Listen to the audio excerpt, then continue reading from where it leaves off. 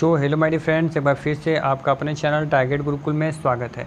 Friends आप लोग को बता दें जैसे आप लोग की अब तक सारी इन्फॉर्मेशन सारी अपडेट मैंने आज तक दी है। तो फ्रेंड्स मस्ट इंपॉर्टेंट वीडियो आज सबसे इंपॉर्टेंट वीडियो इसे आप मान के चलिए, क्योंकि आप लोग के सारे डाउट सारे क्यूरीज बहुत सारे लोग की तो मेन प्रॉब्लम है सर ड्रेस क्या रहने वाला है। इंट्रेंस एग्ज़ाम के लिए वो कौन सा ड्रेस पहन के जाएँगे, कोई ड्रेस ड्रेस कोड है क्या?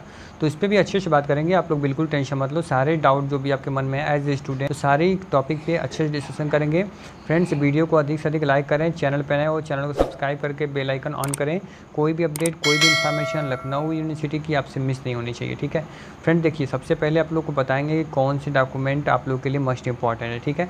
तो फ्रेंड्स, आप लोग को मस्ट इंपॉर्टेंट डॉक्यूमेंट आपको खुद पता होना चाहिए कि आप लोग के पास एडमिट कार्ड ठीक है? आप लोग एडमिट कार्ड डाउनलोड कर लिए होगे, नहीं डाउनलोड किए होगे, आप एक से चौबीस घंटे के अंदर आपके सारे डॉक्यूमेंट अपलोड कर दिए जाएँगे। वहाँ से एडमिट कार्ड आप लोग को बताया गया कैसे अपना एडमिट कार्ड आप डाउनलोड करोगे। उस वीडियो को देख लो आप, एडमिट कार्ड डाउनलोड करके उसका जो प्रिंट आउट उससे निकलवा के अपना आईडी प्रूफ या फिर आपके पास आधार कार्ड हो, पेन कार्ड हो, आपके पास वोटर आईडी हो, निवास हो, कुछ भी हो आपके पास, डॉक्यूमेंट आपके आईडी प्रूफ रहनी चाहिए जिससे कि आप लोग को सेंटर पर जाओगे। तो वहाँ पर आपके जो डॉक्यूमेंट होते हैं, आपके एडमिट कार्ड से आपकी डिटेल मैच की जाती है, ठीक है। फ्रेंड्स, जिनका डेट ऑफ़ बर्थ गलत हो गया, बहुत सारे लोग की प्रॉब्लम है तो डेट ऑफ़ बर्थ के लिए आप लोग क्या करना है कि अपना हाई स्कूल इंटर की मार्कशीट भी साथ ले जाना, जिसपे कि आप लोग के डेट ऑफ़ बर्थ मैच करके आप लोग को प्रॉब्लम ना हो, आप लोग सेंटर पर बैठ जाओ, उसके बाद अपनी डेट ऑफ़ बर्थ आप कॉलेज से सही करा लेना, ठीक है? फ्रेंड्स आप लोग देख रहे हो कि आप लोग एंट्रेंस एग्ज़ाम के लिए दो कॉपी ले जाना है, ठीक है? यानी एडमिट कार्ड की टू कॉपी ले जाना है। आप लोग के पास एक अपने पास और एक कैंडिडेट यानी एक आपको सेंटर के लिए देना पड़ेगा। एक कॉपी जो होगा वो सेंटर पे जमा हो जाएगी और एक कॉपी आपके पास रहनी चाहिए। लखनऊ यूनिवर्सिटी की एक खासियत है, ठीक है? तो आपको दो एडमिट कार्ड यानी कि ट्वेंटी रुपीज़ पे करोगे आप, ठीक है? और दो एडमिट कार्ड आप लोग को देना है, ठीक है? मैं प्राइस इसलिए बता रहा हूँ कि बहुत साइबर कैफ़े आपसे ज़्यादा पैसे डिमांड करेंगे, आप उनको बीस रुपये से अधिक न देना, ठीक है?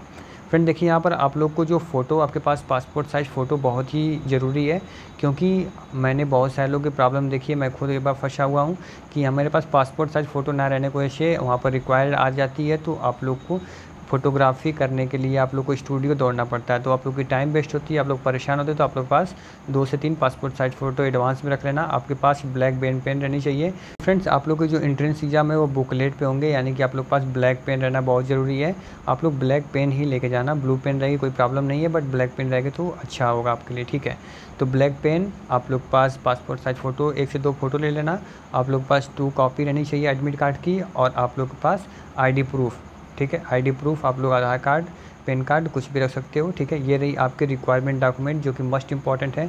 अगर इसमें से एक डॉक्यूमेंट भी आप मिस करते हो तो आप लोग को सेंटर से बाहर कर दिया जाता है, ठीक है? आप लोग को एक बात और बता दें यहाँ पर, आप लोग रिमाइंडर सेट कर दें कि आप लोग अपना रिक्वायरमेंट यानी जब आपकी रिपोर्टिंग टाइम है रिपोर्टिंग टाइम से आप लोग पंद्रह से बीस मिनट पहले सेंटर पर पहुँच जाना है, ठीक है?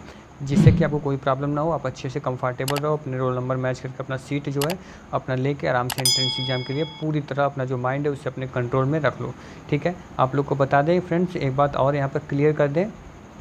कि आप लोग दो से तीन मंथ से आप लोग एंट्रेंस एग्ज़ाम प्रिपरेशन कर रहे हो तो आप लोग छोटी मोटी गलतियों की वजह से आप लोग एंट्रेंस एग्ज़ाम से बाहर ना चले जाओ तो इस वीडियो को आप लोग जब निकलना सेंटर से तो उससे दस मिनट पहले पाँच मिनट पहले वीडियो को फिर देख लेना जिससे कि आप लोग को याद आ जाएगा कौन कौन से डॉक्यूमेंट लेकर जाने हैं आप डॉक्यूमेंट मिस नहीं करो अक्सर लोग भूल जाते हैं वो याद रहते हुए फिर भी ठीक है तो फ्रेंड्स ये रही आज की हमारी इंपॉर्टेंट जो वीडियोस थी बहुत सारे लोगों की क्यूरीज थी कि सर बता दें कि आप लोग ड्रेस कोड तो आप लोग जो नॉर्मली अपना जैसे आप लोग पहन के जा सकते हो जो कपड़ा आप लोग पहनते हो, पहन के जा सकते हो।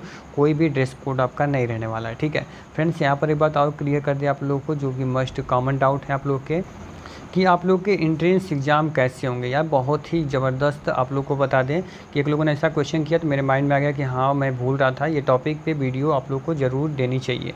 तो आप लोग को बताएँ कैसे अपना बुकलेट आप फिलअप करोगे, कैसे आप लोग अपना रोल नंबर वगैरह फिलअप करोगे?